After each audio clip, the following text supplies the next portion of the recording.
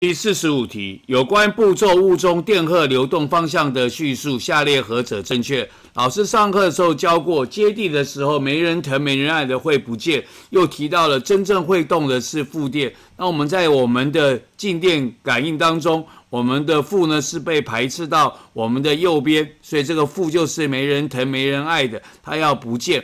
那么负电是会动的，所以它就离开了，所以我们就会从我们的金属球移到手上去。所以第四十五题问我们说，有关步骤物中电荷流动方向的叙述，下列何者正确？我们答案选的是猪，负电荷由金属球流入手。